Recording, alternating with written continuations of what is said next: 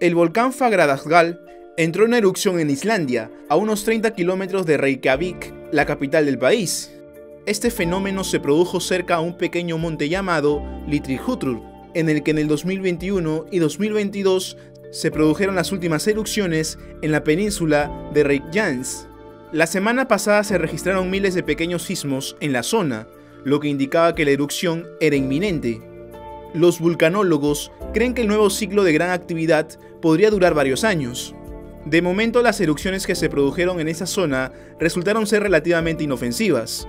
A pesar de ello, el Servicio de Protección Civil exhortó a la población a no acudir al lugar, pues los especialistas aún deben evaluar con exactitud el sector afectado. La Oficina Meteorológica de Islandia dijo que había una fisura de 200 metros en las laderas de la montaña Krutur, de la cual emergió la lava. El acto tuvo lugar en un área deshabitada, donde no existió peligro, no hubo daños materiales y no se afectó el tráfico aéreo. Cabe señalar que el volcán entró en erupción dos veces en los últimos dos años sin causar daños.